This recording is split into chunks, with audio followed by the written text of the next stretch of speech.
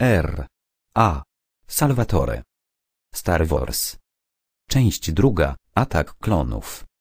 Przekładał Maciej Szamański. Rozdział 13. Największym pomieszczeniem w wielkiej świątyni Jedi na Kurusant była sala archiwum.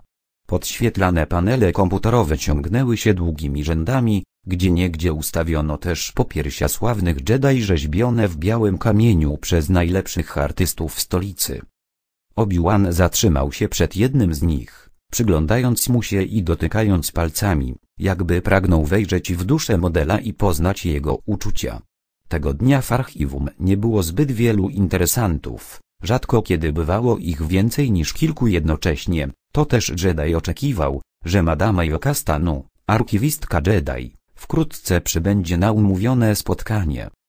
Stał cierpliwie, z uwagą studiując mocne rysy kamiennej twarzy, wysokie kości policzkowe, staranną fryzurę oraz duże przenikliwe oczy. Obi-Wan nie znał zbyt dobrze tego człowieka legendy, hrabiego duku, ale spotkał go raz i wiedział, że podobieństwo zostało uchwycone wyśmienicie. W osobie hrabiego wyczuwało się tę samą intensywność, niemal namacalną aurę siły, która często otaczała mistrza Kwigona, zwłaszcza wtedy, gdy miał do spełnienia szczególnie ważną misję. Kwigon sprzeciwiał się Radzie Jedi wtedy, kiedy uważał to za stosowne, postąpił tak na przykład przed dziesięciu laty w sprawie Anakina, wstawiając się za nim na długo przed tym, nim Rada doceniła niezwykły talent chłopca, gigantyczny potencjał mocy sugerujący, iż młody Skywalker może być wybrańcem, o którym wspominała stara przepowiednia. Tak, Obi-Wan pamiętał upór Kwigona, ale jednocześnie wiedział, że hrabia Duku jest zupełnie inny, że nigdy nie rezygnuje, że obsesyjnie drąży sprawy, na których mu zależy. Jego oczy były jak niegasnące płomienie. Duku sięgał czasem po ekstremalne i niebezpieczne środki. Odszedł z zakonu Jedi, wyrzekł się powołania i odwrócił plecami do towarzyszy. Trudno było odgadnąć, co zmusiło go do tego kroku, lecz przecież musiał zdawać sobie sprawę z faktu, że w rodzinie Jedi łatwiej byłoby mu stawić im czoło. Prosiłeś o pomoc.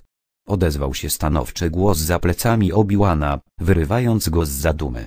Kenobi odwrócił się i zobaczył Madamę Jokastenu chowającą splecione dłonie w fałdach luźnej szaty Jedi. Wyglądała na istotę delikatną i wiekową. Wielu młodych, mniej doświadczonych Jedi próbowało podporządkować sobie tę niepozorną kobietę, zmusić ją do wykonania zadań, które sprowadziły ich do archiwum, tylko po to, by w niezbyt przyjemnych okolicznościach poznać prawdziwą naturę Madame Jokastynu. Pod poraną zmarszczkami skórą krył się bowiem duch pełen temperamentu, siły i determinacji. Jokastanu była archiwistą zakonu od bardzo wielu lat. Nawet najszacowniejszy z mistrzów odwiedzających wielką salę musiał podporządkować się rozkazom tej kobiety, jeśli nie chciał narazić się na jej gniew.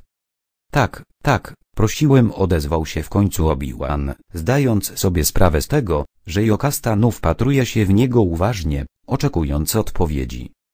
Stara kobieta uśmiechnęła się i podeszła bliżej do popiersia hrabiego duku. Niezwykła twarz, prawda? Zauważyła. Jej cichy głos uspokoił nieco Kenobiego. Był jednym z najbardziej błyskotliwych Jedi, jakich miałam zaszczyt poznać. Nie potrafię zrozumieć, dlaczego odszedł, odrzekł Obi-Wan, także spoglądając na imponującą rzeźbę. W całej historii tylko dwudziestu Jedi opuściło zakon. Stracona dwudziestka, przytaknęła Jokastanu, wzdychając ciężko. Ale odejście hrabiego duku to najświeższa i najbardziej bolesna sprawa. Nikt nie lubi o tym mówić. Zakon poniósł wielką stratę. Co się stało? Cóż, można powiedzieć, że nie zawsze zgadzał się z decyzjami Rady, odparła władczyni archiwum. Podobnie jak twój dawny mistrz, Kwigon. Mimo iż Obi-Wan myślał właśnie o tym samym, stanowcze słowa Jokastynu zaskoczyły go, ponieważ rzucały na postać Kwigona zupełnie nowe światło, czyniły z niego jawnego buntownika. Kenobi wiedział, oczywiście, że jego mistrz bywał czasem nieposłuszny, na przykład wtedy, gdy bronił przed radą Anakina, ale nigdy nie myślał o nim jako rebeliancie. Wszystko wskazywało na to, że Jokastanu, na co dzień trzymająca rękę na pulsie życia świątyni Jedi, była innego zdania. Naprawdę? Powiedział Obi-Wan, oczekując przede wszystkim informacji o duchu, ale w duchu mając nadzieję także na opowieść o swoim dawnym, ukochanym mistrzu. O, tak. Mieli ze sobą wiele wspólnego. Obaj byli indywidualistami i idealistami. Jokastanu nie przestawała wpatrywać się intensywnie w popiersie hrabiego. Obi-Wan miał wrażenie, że nagle znalazła się bardzo, bardzo daleko od sali archiwum. Zawsze starał się zostać jeszcze potężniejszym Jedi. Chciał być najlepszy. W starym stylu walki na miecze świetlne nie miał sobie równych. Jego wiedza o mocy była niebywała. Aż wreszcie odszedł. Chyba dlatego, że stracił wiarę w republikę. Uważał, że polityką rządzi korupcja. Jokastanu umilkła na moment, by spojrzeć spod oka na Obiłana. Wyraz jej twarzy zdradzał, że zgadzała się z poglądami hrabiego bardziej niż inni Jedi.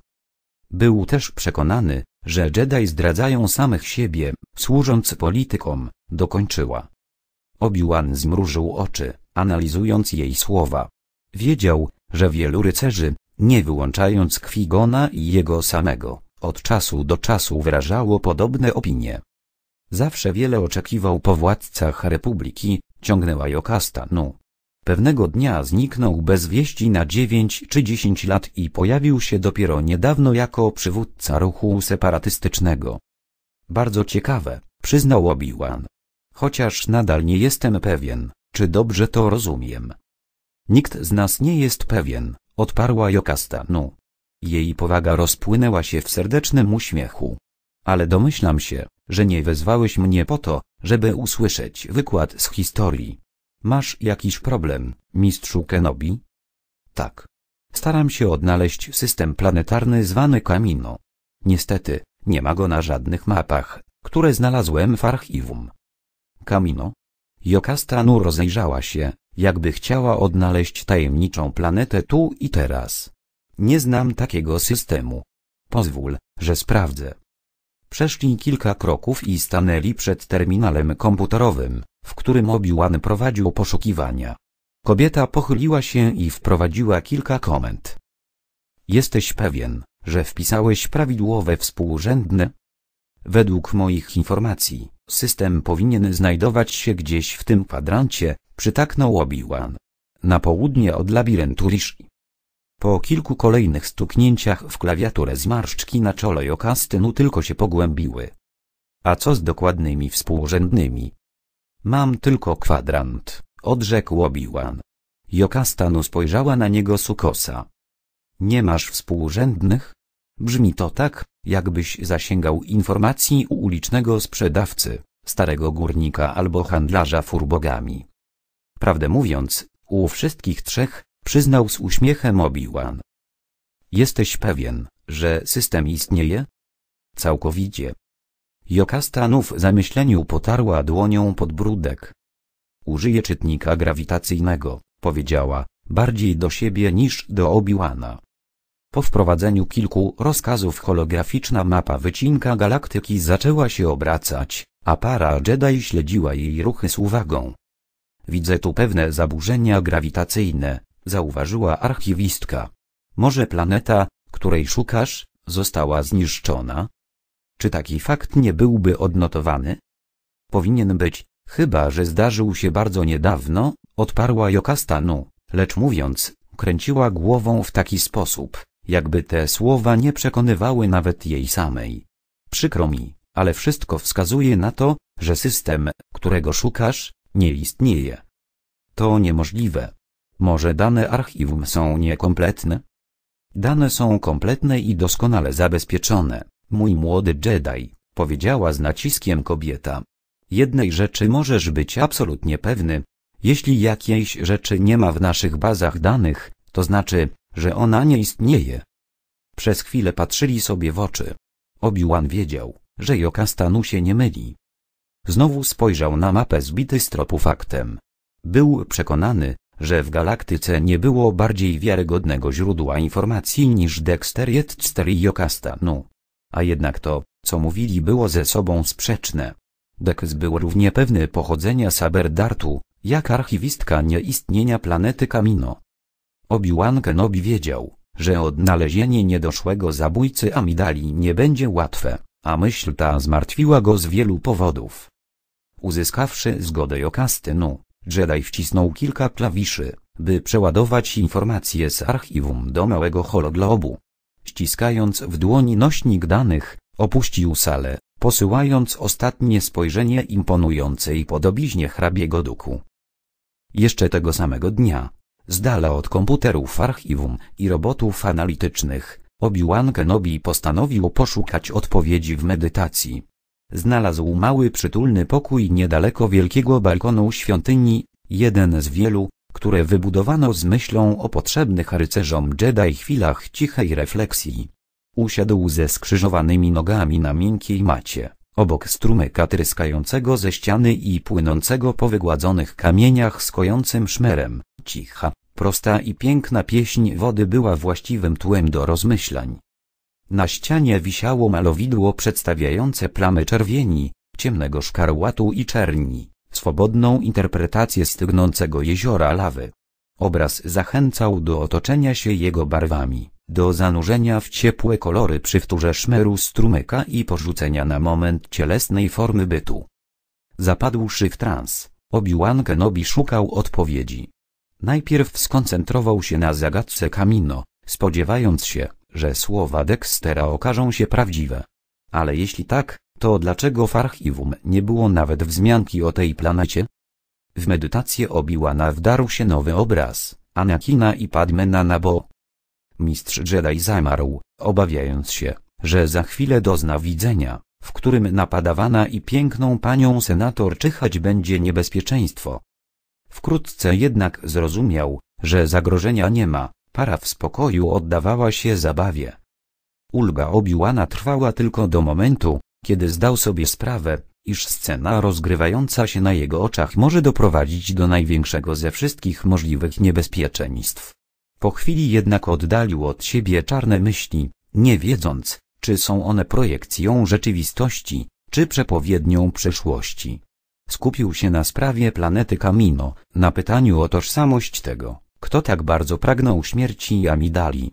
Wiedział, że im prędzej upora się z tą zagadką, tym prędzej będzie mógł powrócić do Anakina i wskazać mu właściwą drogą. Mistrz Jedi poszybował myślą do popiersia hrabiego duku, gorączkowo szukając odpowiedzi, lecz z jakiegoś powodu wizerunek Anakina wciąż mieszał się z podobizną renegata. Zmartwiony i jeszcze bardziej zdezorientowany niż poprzednio, Obi-Wan Kenobi opuścił pokój medytacji, potrząsając głową i rozmyślając nad zawiłością powierzonej mu sprawy. Cierpliwość zmieniła się we frustrację i rycerz Jedi postanowił szukać pomocy u mądrzejszych i bardziej doświadczonych od siebie. Krótki spacer zaprowadził go na przestronną werandę, gdzie zatrzymał się, by rozładować napięcie, przyglądając się niewinnej scenie. Mistrz Joda prowadził zajęcia z dwudziestoma młodymi rekrutami Jedi, dziećmi w wieku od czterech do pięciu lat, które za pomocą małych mieczy świetlnych toczyły właśnie pojedynki z latającymi robotami szkoleniowymi. Obi-Wan przypomniał sobie własny trening. Nie mógł dostrzec oczu malców ukrytych pod maskami hełmów, ale wyobrażał sobie, jakie emocje malują się na buziach dzieci. Zapewne pojawiało się na nich na przemian wielkie skupienie i niepohamowana radość, gdy mały miecz kolejny raz skutecznie zablokował nieszkodliwą błyskawicę wystrzeloną przez automat. Zachwyt trwał zazwyczaj krótko, ponieważ prowadził do dekoncentracji, a w konsekwencji do kary w postaci celnego strzału. Kenobi pamiętał i to, że niosące niewielką energię błyskawice nie były zbyt bolesne, za to mocno raniły dumę.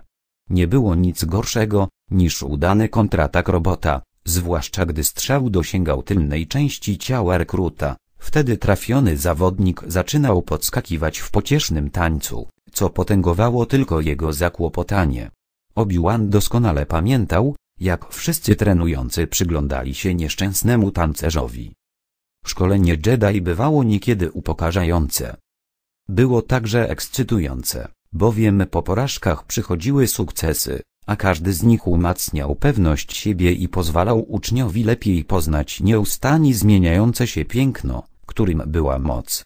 Tak rodziła się potęga, której posiadanie różniło rycerzy Jedi od pozostałych mieszkańców galaktyki. Widok Jody szkolącego malców, który wyglądał teraz dokładnie tak samo jak przed ćwierćwieczem, kiedy to nauczał Obi-Wana, napełnił serce młodego mistrza ciepłymi uczuciami. Nie myślcie. Odczuwajcie, pouczał Joda. Jednością bądźcie z mocą. Obi-Wan uśmiechnął się, bezgłośnie wypowiadając wraz z mistrzem następne słowa. To pomoże wam. Ileż razy słyszał te zdania. Wciąż uśmiechał się szeroko, kiedy Joda odwrócił się w jego stronę. Dosyć, młodzieży. Zakomenderował wielki mistrz Jedi. Gościa mamy. Powitajcie go. Dwadzieścia małych mieczy świetlnych wyłączyło się z sykiem i uczniowie stanęli na baczność, przyciskając do boku zdjęte z głów hełmy. Mistrzowi Wan Kenobi, powiedział Joda z powagą, starając się, by dzieci nie poczuły się lekceważone. Witaj, mistrzu Obi-Wanie. Zawołali chórem rakruci. Przepraszam, że przeszkadzam, mistrzu, rzekł Kenobi, kłania, jąć się lekko. W czym pomóc ci mogę? Obi-Wan przez moment rozważał odpowiedź na to proste pytanie. Owszem, przyszedł tu, szukając pomocy u Jody, ale teraz, widząc, że odrywa mistrza od pracy, zaczął zastanawiać się, czy cierpliwość nie opuściła go zbyt szybko. Czy miał prawo oczekiwać, że Joda pomoże mu w wypełnianiu tej misji? Kenobi szybko pozbył się wątpliwości. Obaj byli rycerzami Jedi, więc spoczywała na nich wspólna odpowiedzialność. Mimo to nie oczekiwał od mistrza konkretnych odpowiedzi, choć z drugiej strony.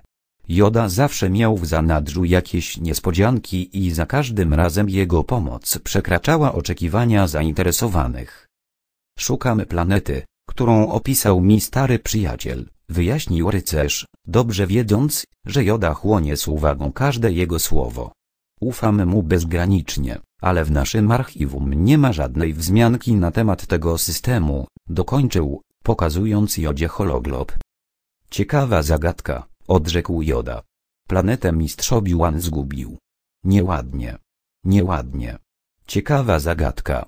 Zbierzcie się, młodzi przyjaciele, wokół czytnika map. Oczyśćcie umysły.